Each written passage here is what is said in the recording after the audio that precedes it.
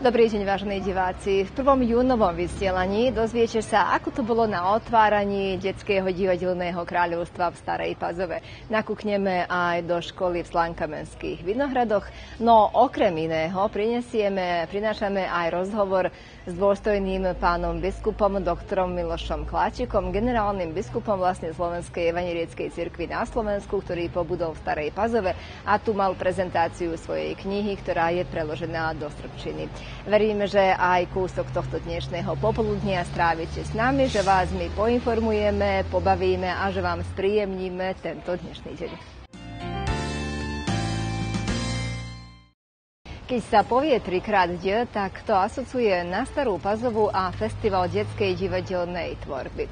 Áno, práve na Starú Pazovu, lebo tento festival vznikol v tomto meste a prebieha tu na už 25 rokov. Brána detskej divadelnej krajiny v Starej Pazove sa otvorila po 25. krát. Uvítala všetkých milovníkov slovenskej divadelnej detskej tvorby. Prítomných úvodom pozdravila Libuška Lakatošová, národná poslankyňa a predsednička spolku Janka Čmelíka, tiež Goran Jovič, predseda obecného zhromaždenia a jubilejnú prehliadku otvorila Anna Tomanová Makanová, predsednička Národnostnej rady, ktorá sa zaďakovala všetkým pedagógom, ktorí podporujú deti, ktoré majú blízko k divadlu a tým, ktorí im dovolujú, aby boli deťmi. Tento festival je tu pre vás. A kým vy budete mať vôľu hrávať, tento festival bude trvať. Všetkým divadelníkom prajem, aby ste mali úspešný divadelný výkon, aby ste si z tejto prehliadky odniesli pekné zážitky a pravda, že ešte väčšiu vôľu, aby ste hrávali. A vám, všetkým ostatným, prajem príjemné sledovanje. Svega ovoga ne bi bilo da nije velikih pregalaca kulturnih radnika iz cele Vojvodine, Slovaka iz cele Vojvodine i normalno Slovaka koji žive u Stare Pazovi i koji deluju u okviru ovog našeg divnog kulturno-umetničkog društva Pjera Janko Čmelik. Divadlo je čarodejné, hovorí sa. Ja verím, že aj vy, hrajúc divadlo, nielen text, ale aj samé, samú scénu, aj kostým, aj proste to komplexné umenie, ktoré jednoducho teraz možno neviete ani pochopiť, ale vidíte, keď to funguje, že áno, je to to a teší ma, že z roka na rok prichádzate na túto prehliadku. Hoci sú pazovčania zakladateľmi tejto prehliadky, medzi tými, ktorí ju vždy podporovali, je kysáčan Jan Privizer. To je naozaj tých 25 ročníkov, keď sa pamätám, tie prvé, keď sme prichádzali na takých kombíkach a nabalili sme sa, vy ste nás tu pazovčania dočkali, donašali, donašali ťažké scenografie, e, zážitky myslím, že boli a tu je v každom prípade mnoho a mnoho generácií, ktoré sú vypestované a zároveň dneska sú herci, režiséri alebo proste to, táto e, prehliadka alebo trikrát, že lepšie povedané, naozaj, naozaj infikuje mladých hercov s vírusom divadelných, divadelným a verím, že v budúcnosti ešte e, slovenské ochotníctvo, divadelné ochotníctvo bude existovať. Naozaj ďakujú tomu, že sa robí s deťmi. Ako prvé vystúpilo hostujúce Slovenské vojvodenské divadlo s predstavením Tilda, v ktorom hrajú divadelníci z mnohých vojvodenských prostredí. Volám sa Milan Hansman, pochádzam z Bačského Petrovca a v predstavení hrám postavu, ktorá sa volá Rudobachno šľap. Som veľmi maškrtná postava, som dosť hrubší ako ostatné deti a veľmi rád, veľmi jem. To je taká postava. A či ty rád chodívaš do divadla a či rád hrávaš v divadle? Veľmi rád hrávam v divadle a keďže mám takúto postavu, takže chodím najradšej lačný do divadla. Volám sa Petra Sirácka, pochádzam z Holožium a hrám postavu, ktorá sa, ktorá sa volá Amanda Mušková. A čo robí tá Amanda? No, uh, chodí do školy s Matildou a Jaká je ona? Dobrá. A ty povedz mi, rada chodívaš do divadla, rada hrávaš? Áno. Volám sa Mia Gedrová, e, chodím do 3. jeden triedy, e, pochádzam z pivnici. E, v tomto predstavení hrám úlohu Matildu. A porozprávaj nám trochu o tej Matilde. Uh, Matilda je dievča, ktoré e, ľúbilo čítať knihy. Aj sa všeličo e, cez ne naučila. A ty si sa niečo naučila pripravujúc toto predstavenie? Som. Čo? E, naučila som sa, že treba čítať knihy, lebo sa z nich veľa e, toho môže naučiť nového, čo ešte nevieme. Volá sa Maja Totová, prichádzam z pivnice. A porozprávaj mi trošku o tom, koho ty hráš, aká je to postava, či sa ti páči. E, ja hrám Levanduliu Atramentovú, je to postava jedného no, malého devčata, ktorá, ktoré ide do školy s Matildou, je, e, je Matildina najlepšia kamarátka. Aká je ona? Po... Dobrá, či nie? Dobrá. A ty si už hrala v divadle skôr? Áno. Koľko raz? Uh, 5. Toto je piaté divadlo.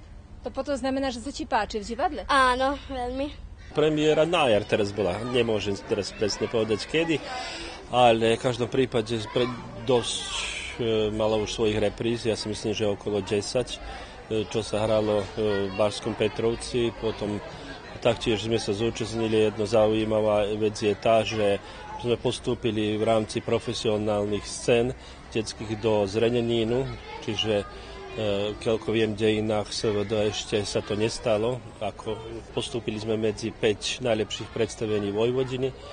Medzi časom sme si boli zahrať e, na Slovensku, Nitre teraz pred 10-12 dňami tam sme boli, potom sme boli, aj v Dolnom Kubíne sme hrali.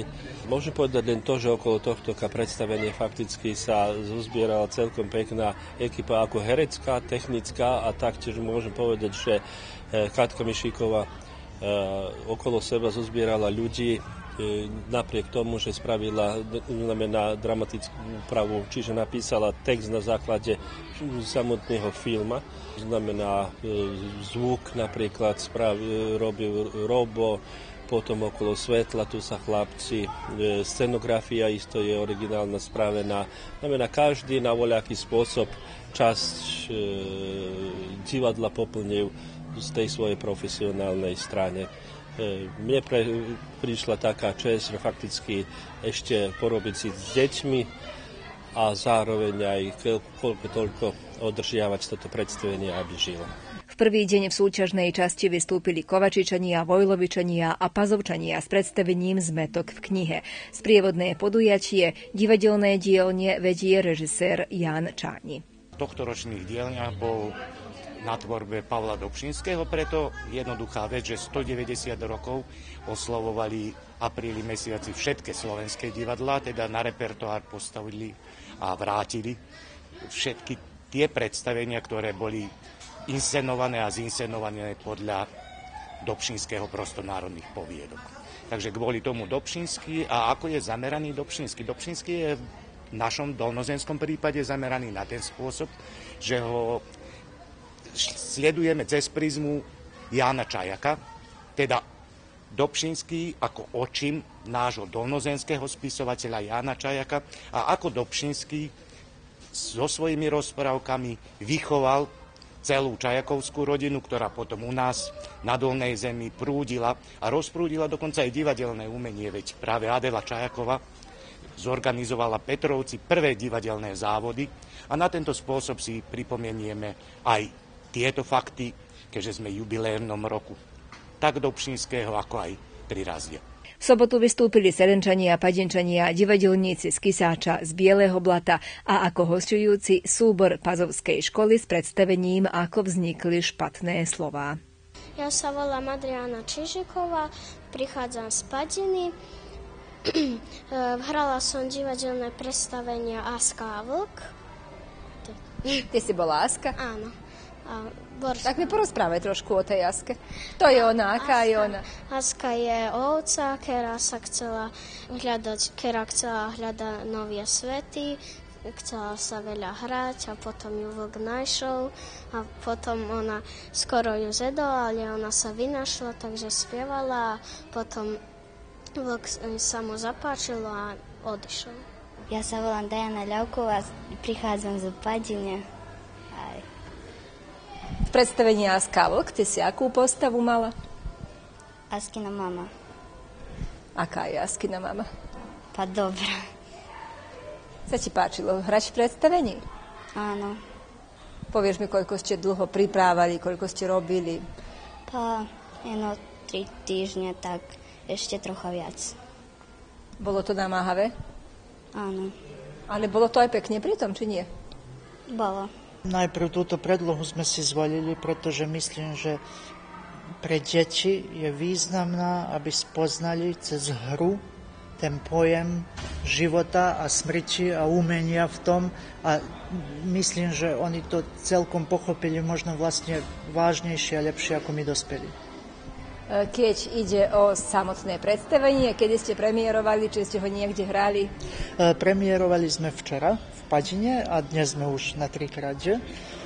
Okrem toho sme ešte nehrali, ale dúfame, že budeme ešte kde, kdekoľvek budeme mať nejaké podmienky. Okrem odbornej poroty všetky predstavenia hodnotí aj detská porota a o tom, kto je najlepší v tomto roku, bude známe v nedeľu večer. Všetci sú vítaní. V predsieni divadla sa nachádza výstava plagátov a akže pri vstupe do divadelnej krajiny uvidíte vojaka, Vedzte, on je tam, aby ju strážil. Ja som maskota, takže teraz e, glumil som vojaka, ako je prošli roku, ale teraz som ako gardista. Merkujem ako strážar, merkujem divadlo, VHV a niektoré deti prídu aj sa tak žartujem s ním, ako som oblečení. A tebe sa páči na tejto prehliadke? Áno. Jún sa v Starej Pazove začal pekne s jednou peknou udalosťou, vlastne prehliadkou detskej divadelnej tvorby trikrát. No ako sa tento šiestý mesiac ukončí, keď sú v otázke kultúrne podujatia? Porozprávame sa na túto tému s Alexandrom Bakom zo Strediska pre kultúru Stará Pazova. Teda kultúrny informátor je pred nami. E, čo je tako, také najdôležitejšie a čo nám tento e, mesiac, keď sa už aj leto začína, keď už rozmýšľame aj o dovolenkách, prináša v Pazove? Tak ako ste povedali, vlastne jún pokračujeme vlastne s tými e, programami, plný je aj mesiac jún s programami až tri festivály, jeden divadelný, dva folklórne. Na začiatok už je e, festival 3x už 25 e, ktorý prebieha prvého víkenda v júne mesiaci, potom druhý víkend júne je festival Steliny Dány, festival folklórov, vlastne eh, poviem viac možno ako memoriál. Eh, to je, bude koncert 9. júna v divadelnej sieni a deň predtým, 8. júna v Sokolskom dome, bude aj literárny večierok na tomto festivale. Koncom júna, zase 30. v organizácii kultúrno-meneckého spolku Branko Radičovi zo Starej Pazove sa uskutoční 16 E, festival Vidodanskí súsrety, medzinárodný festival, kde účinkuje niekoľko súborov zo zahraničia, aj medzi ostatnými aj naši pazovskí ochotníci. To, čo nás ešte očakáva, e, keď je jún mesiac, e, z tej hudobnej strany budeme mať aj škola, muzická škola Teodor Toša Andrejevič bude mať svoju prezentáciu v predsieni nášho divadla a to 15. júna. Zase chór, mestský chór bude mať koncert 7. júna v Starej Pazove. Tiež mesiac jún je poviem taký, že obyčajne sú tu dní školy, zaznamenanie maturitov rôznych zo školu maturných programov, tak bude aj základná škola hrdinu Janka Čmelíka bude mať program maturantov 6. júna o 18. hodine v divadelnej sieni a základná škola Boško Pavlkovič Pinky bude mať svoj program 13. júna o 18. hodine tiež v, v divadelnej sieni. Keď ide o filmový repertoár, Film je každý útorok, znamená 12. 19. a 26. v Starej Pazove, prezentácia filmov. Tie isté filmy sú v stredu v Novej Pazove a v štvrtok v Starých Banovciach. To, čo ešte by som povedal, že pokračujeme aj keď ide o rôzne súťaže ochotníkov. My budeme mať niekoľko až programov v júne mesiaci. Najprv 8.6. o 18. hodine obecná smotra tradícií, potom 10. E, júna o 15. hodine 30. minúte obecná, e, obecná súťaž folklorov, ale dospelých a zase 16. júna o týždeň neskôršie o 10. hodine zónová súťaž folklorov, keď sú dospelí e, v otázky. A tiež na, medzi divadelnou sieňou a Slovenským kultúrno spolkom 16. júna vo večerných hodinách sa uskutočný taký program, že promocia vín, vlastne navolali to ako vínsky plato, kde budú e, promované vína predovšetkým staropazovčanov, ale budú tu aj hostia z rôznych vinári v okolí a potom aj zo Srbska. Počas toho tých prezentácií bude uskutočnený aj koncert tamburaškého orkestra Ľubinka Lazića a zase v chole predsieni divadla bude aj výstava prác uh, Združenia výtvarných umelcov zo starej, zo starej Pazove. No a nakoniec, keď ide o divadlo, budeme mať ešte dve manifestácie divadelné 10. júna o 20. hodine divadlo z Novej Pazovy, ochotnícke divadlo Mirko Tatalovi Číra, predstavenie Pokondírena Tikva, práve v mojej režii bude hostovať Starej Pazove. Už keď sme sa na voľaký spôsob nedostali, vlastne dostali sme sa, ale nebola uskutočnená vojvodinská prehliadka, kde sme mali vystúpiť, tak teraz budeme vystupovať a prezentovať prácu, ktorú sme robili. No a 22 e, pláne je, aby sa uskutočnila aj premiéra predstavenia Tamo daleko, to je koprodukcia Slovenského divadla VHV a divadla Dobrica Milutinovič zo Srienskej Mitrovice. E, my sme ho zahlasili, plánuje sa toho 22. E, uvidíme, či sa to uskutoční, lebo sú trošku problémy, aj keď ide o scenografiu, kostýmy a tak všetko, ale hovorím, plánujeme, ak nie, tak bude trošku posunuté, alebo eventuálne na začiatok následovnej e, sezóny. Takže to by bolo zhruba to, čo nás očakáva pre, pre všetkých e, všeličo. Je to, no, to som nespomenul, že máme aj vytvarné podujatia, predovšetkým e, v galerii Strediska pre kultúru bude uskutočnený e, výstava malého formátu, a to Združenia výtvarných umelcov z Belehradu. To je už, e, poviem, tradičné, lebo už štvrtý rok sa u nás, u nás zjavujú. Viacej ako 50 umelcov z rôznych častí Srbska a niektorí aj z zahraničia. Prezentujú sa viac ako 60 obrazov malého formátu budú v našej galerii. Tak možno o tom potom, ale jednoducho budeme mať príležitosť vidieť, čo robia aj druhí umelci mimo, mimo Starej Pazory. Ďakujem veľmi pekne za tento rozhovor. Teda bez ohľadu na to, že je jún, že už sa niektorí chystajú na dovolenky, kultúrny život v Starej Pazove ako po celý rok, tak aj počas júna veľmi pestrý a bohatý. Základná škola v Slankamenských Vinohradoch bola vybudovaná v roku 1957. Vtedy škola zaznamenala najvyšší počet žiakov, keď z 200 domácností bolo 100 školopovinných detí. Dnes je však situácia trochu iná. Počet detí v základnej škole v Slankamenských Vinohradoch začal následne klesať a dnes je to iba jednociferné číslo. Od roku 1990 v škole pracuje iba jedna učiteľka v spoločnej triede, ktorej v tom istom čase vyučovanie sledujú žiaci všetkých štyroch ročníkov nižších tried po slovensky. Od 5. po 8. triedu deti idú do Krčedinu a vyučovanie prebieha v Srbčine. E, tohto roku máme 6 žiakov, v prvom ročníku jedného, v druhom ročníku tiež jedného žiaka, v treťom dvoch aj v štvrtom dvoch. Následovný školský rok tiež budeme mať 6 žiakov. Posledné roky, jednociferné číslo, e, znamená už 6 rokov pracujem na tejto škole, vždy som mala 5, 6, 7 žiakov. Pracujeme spolu, všetci v jednej triede, kamarátia sa, učia sa spolu, títo mladší trošku menej, starší trošku viacej, e, pomáhajú si jedni druhým, pracovití sú usilovní, takže nám je tu pekne. Štefa Moravček, Slovenčina. Slovenčina, kto ti dal toľko nežných krás. Že vždy ako potvočik zažblkoceš v nás. Slovenčina, najdrahšia, ty si poklad náš, to preto, že mamkino srdce v sebe máš. Aby žiaci mali krajší pôžitok, vedenie sa snaží zlepšiť podmienky tak pre žiakov, ako aj pracovníkov tejto školy. Podmienky pre prácu v škole sú e, dobré. Práve sme minulý týždeň dostali ešte jeden počítač, od rodiny Zlatkov z Nového Belehradu, tak teraz máme dva. Zišiel by sa nám projektor, aj biela tabuľa, ale sa nazdávame, že to bude hneď.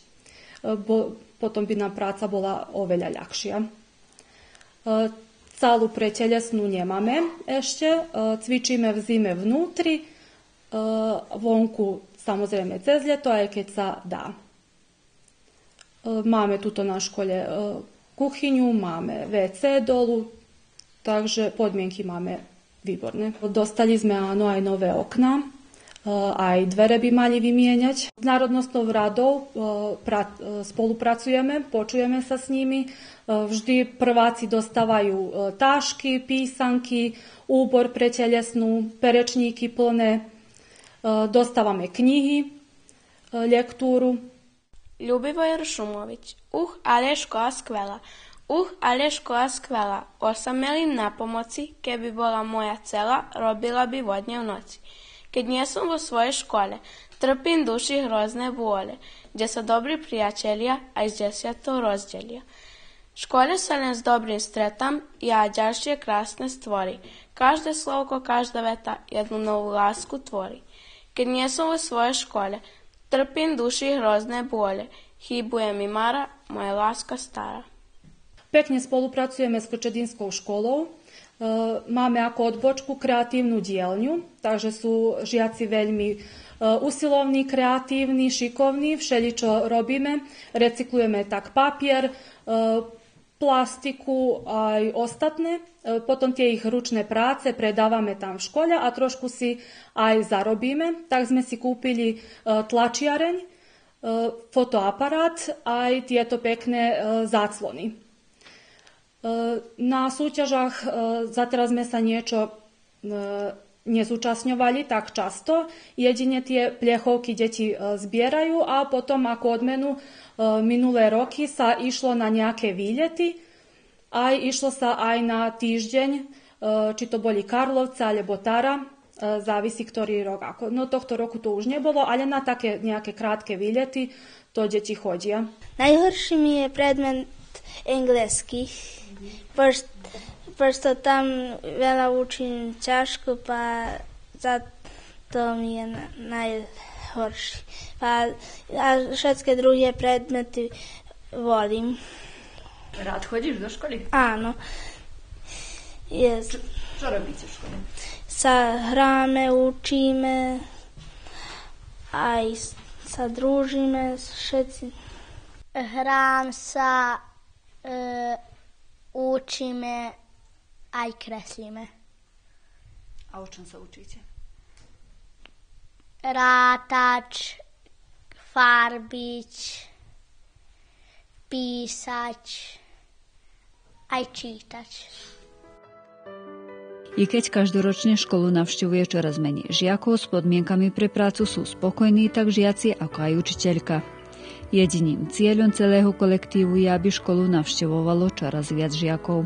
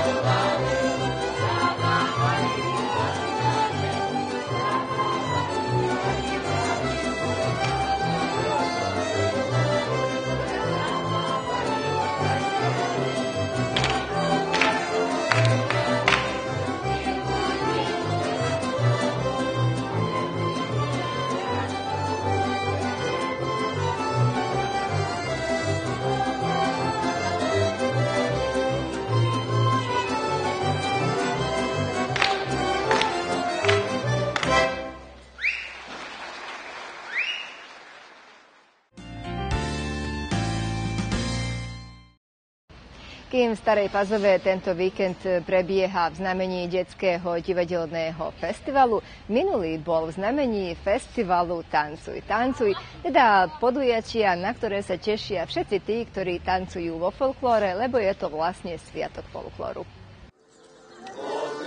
našej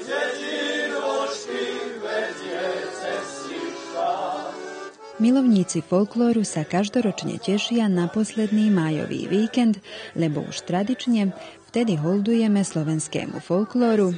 Presnejšie, koná sa folklórny festival Tancuj, tancuj tohto roku 48 krát. Folkloristi z takmer všetkých slovenských prostredí zúčastnili sa na našom najväčšom folklórnom podujatí v Hložanoch. Festival sa, ako obvykle, začal súťažným koncertom speváckých skupín a orchestrov v Dome kultúry.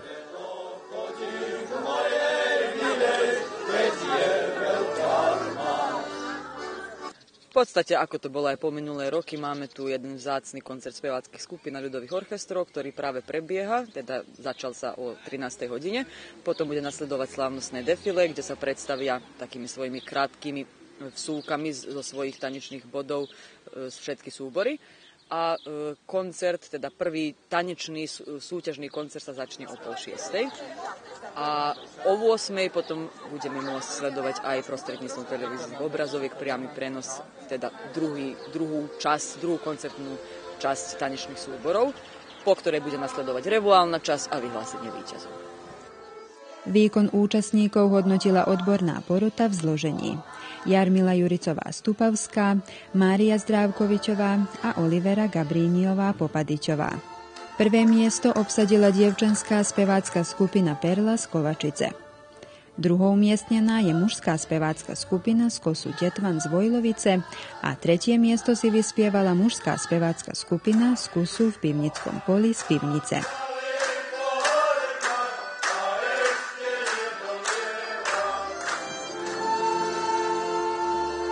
Podľa zhodnotenia odbornej poroty zo šiestich orchestrov tretie miesto obsadil Orchester Domu kultúry 3. októbra z Kovačice, druhé Orchester Domu kultúry Michala Babinku z Padiny a najlepší bol Orchester Slovenského kultúrneho centra Pavla Jozefa Šafárika z Nového sadu.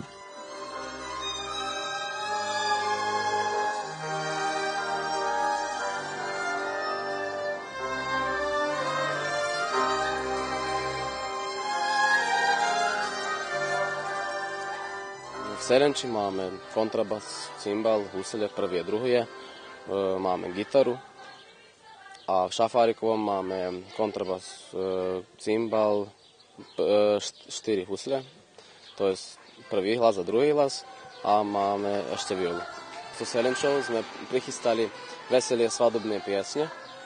A no naozaj sa veselie a bolo nám pekne, dok sme to nahrávali. A pre Šafáriku tu sme také isto splet piesni, tak to začína z Rubáta a potom cez Čardáš to ide do Frišu.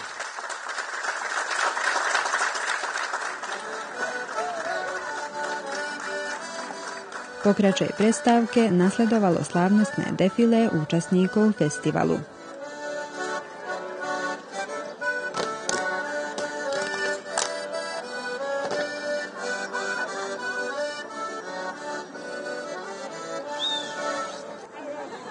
Krojovaný zástup ťahol centrom Hložian k festiválovému amfiteátru, kde sa po slavnostnom otvorení početné obecenstvo tešilo dvom súťažným koncertom tanečníkov. Odborná porota v zložení, predsedníčka Rúžana Červenská a členovia Vlastimil Fabišík zo Slovenska a Milorad Lónič z Nového sadu zhodnotili výkon tanečníkov. Tretie miesto si vytancovali tanečníci Novosadského šafárika.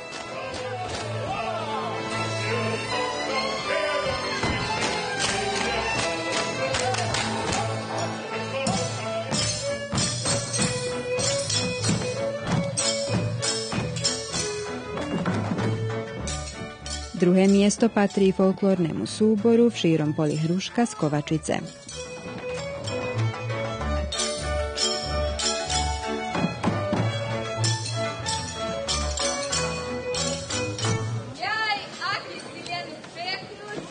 Špeciálnu cenu porota udelila folklórnemu súboru v Pivnickom poli z Pivnice. Člen poroty Vlastimil Fabišík pozval členov z kusu Jednota z Ušídu na folklórny festival na Detve.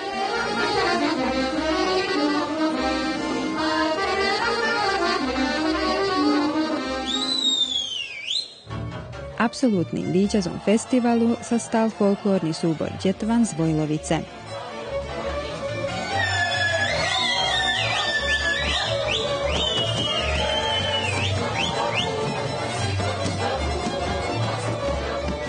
Výstup sa skončil. Aké sú dojmy? No dobre. Dojmy sú dobré. Znamená, všetko dobre dopadlo? Áno, dopadlo. Tréma bola? Nie, už sme takí trochu, že skúsenejší, takže už tréma nie tu. Vedúcemu folklórneho súboru Michalovi Spišiakovi sošku Národnostnej rady Slovenskej národnostnej menšiny odovzdala predsedníčka Anna Tomanová Makanová. Získali ju za stvárnený obyčaj pán starejší, pán starejší.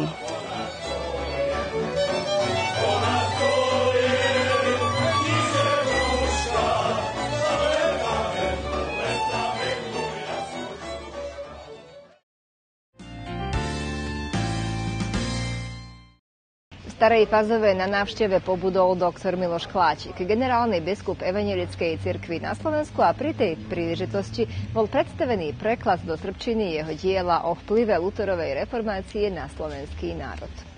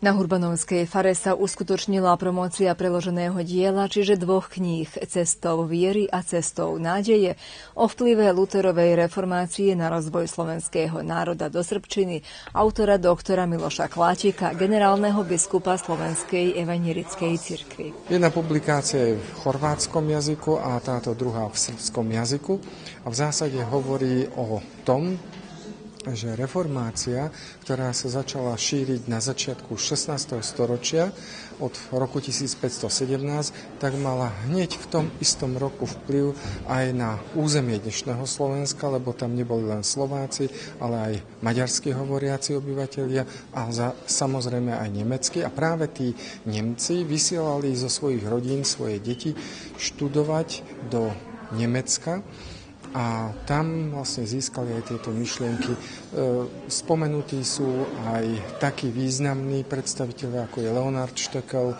on bol z Bardiova, o ktorom sa hovorí, že je učiteľom Uhorska. E, spomenul som Konráda Kordáta, ktorý je spoluautorom reči pri stole e, od doktora Martina Lutera, alebo sú to aj významní predstavitelia, ktorí tvorili potom aj vyznanie piatich kráľovských miest na východe Slovenska, potom spiských miest, 24 spiských miest a takisto 7 banských miest. A o tomto celom je táto kniha. Boli prezentácie, a to v slovenskom jazyku na Slovensku už pred niekoľkými rokmi, a vždy sú to upravené verzie, oni nie sú identickými. E, potom prejavili záujem evanilici v Slovinsku, pretože tam sa dokázalo, že sú študenti, ktoré v tom čase študovali na evanilickom e, gymnáziu, líceu v Bratislave. A ten vplyv v tom období v rámci Rakúsko-Uhorska bol veľký a teda záujem prejavila aj táto církev. Takže e, tam sa to začalo s prekladom Teraz je to v chorváčtine, v srbčine, v nemčine bola prezentovaná na sklonku minulého roku a bola táto publikácia vlastne vypredaná a hneď v tomto roku bolo druhé vydanie, ktoré skoro je už tiež vypredané a teraz sú rozpracované preklady do rumunštiny, lebo tam máme Slovákov nad Laku a už prejavili záujem aj Poliaci, takže tam sa začína s prekladovou činnosťou. Preklad do Srbčiny predstavuje výber z dvoch kníh a ten je výsledkom spolupráce s farárkou Svetlanou Vojnič-Feldiovou. Myslím, že v tom je to aj e,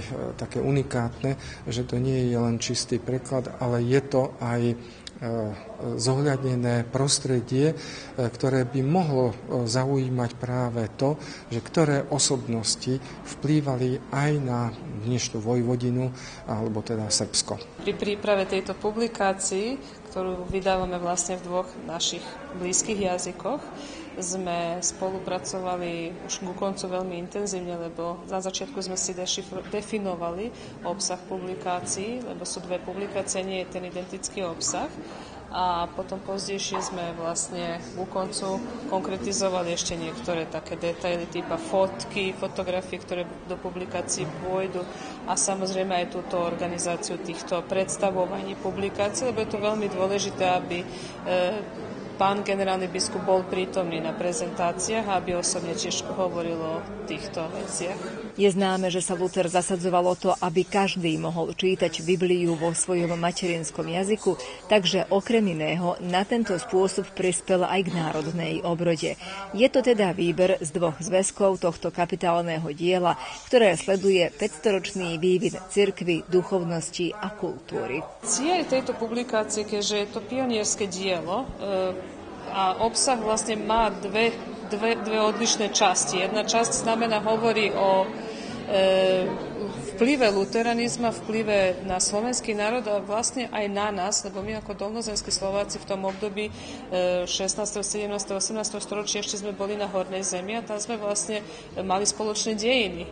E, teda aj vývoj našej cirkvi je tu veľmi dôkladne opísaný a do detajlov spracovaný a to som považovala za veľmi dôležité, pretože my e, v našich publikáciách hovoríme od príchodu Slovákov, povedzme sa od toho roku 1745, ako to ďalej u nás bolo a nemáme ani sami o seba, najmä tí druhí o nás nevedia, ako to vlastne s nami bolo predtým a v tom jazyku, ktorý je možno už aj niektorým Slovákom ľahšie zrozumiteľný, typa chorvačtina alebo srbčina. E, druhá časť publikácie hovorí znamená o významných osobnostiach, čo je tiež veľmi dôležité, aby sme mali na jednom mieste zhrnuté napríklad tie tri osobnosti, ako sú Hurban, Hoďa a Štúr a z jedného iného aspektu, teda z aspektu evangelickej cirkvi. Možno sa o nich hovorilo v niektorých publikáciách, nie tak obsažne, ale hovorilo sa napríklad o ich vplyve na vývoj slovenský národ, na E, o, na vývoj možno literatúry. A nehovorilo sa o tom, že oni sú aj evanelickí farári, a že, alebo že, že pochádzali z evangelických rodín a že ako vlastne v svojich cirkevných zboroch a v svojom prostredí ešte vyvíjali e, svoj národ, ako vplývali na ďalších, ktorí potom prispeli rozvoju tohto národa. Na tomto večierku, okrem toho, že bola prezentovaná kniha v preklade do srbského jazyka, tiež sme videli aj knihu v preklade do chorvátskeho jazyka. E, tak sme mali aj taký, by som povedal, pekný e, duchovno-kultúrny e, zážitok, preto lebo nás navštívili aj cirkevníci, najmä z Nového sadu, za jeden autobus, ktorý na ceste z Belehradu, kde boli do obeda na službách Božích, prišli aj na tento večierok spolu so svojím zborovým farárom, magistrom Vladimírom Obšustom. Prezentácia sa uskutočnila práve na mieste, kde pôsobila a veľký vplyv na vývin cirkví a kultúry pazovských Slovákov zanechala farárska rodina Hurbanová. O archíve hovorila archivárka Katarína Verešová. Myslím si, že sme všetci e, plní nadšenia, že sme mohli mať tu na generálneho biskupa, ktorý nám prednášal a urobil taký prierez historický e, o dejných faktách z, z, z, zo Slovenska najmä, ktoré sa týkajú aj nás. To zväčša hovoril o tom, kým ešte naši predkovia boli na Slovensku. A tiež sme si mohli vypočuť aj takú kratšiu štúdiu o doktorovi Jozefovi Miloslavovi Hurbanovi. Pritom by si mohli pozrieť aj výstavu, ktorú prichystala archivárka Ústredného archívu Katarína Verešova. E, boli to dokumenty, doklady e, z pera, povedzme si doktora Jozefa Miloslava Hurbana, ktoré máme tu uschované a potom ďalšie diela, e, ktoré sa týkali vlastne našich biskupov, najprv superintendentov a potom biskupov. Tak aj v tej skrini máme v podstate vyložené diela od tých najstarších, prvých našich superintendentov a biskupov do e, diel, teda publikácií terajšieho generálneho biskupa Evangelickej církvy na Slovensku. Promocie sa zúčastnil veľký počet veriacich a piesňami večer spríjemnili cirkevný zbor Tilia a cirkevný zbor z Nového Sadu.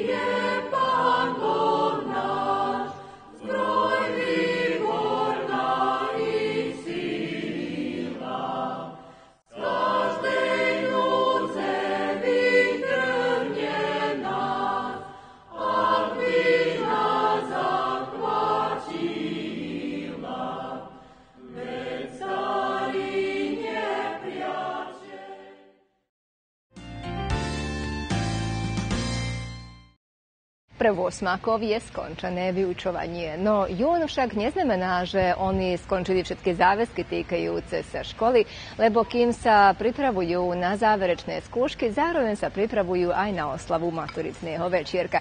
My už na budúci týždeň slubujeme, že prinesieme záber z oslavy maturitného večierka, čiže rozlúčkovej 8 základnej školy hrdinu Janka Čmelíka, ale tiež aj budeme hovoriť o ostatných udalostiach a aktualitách v našom prostredí.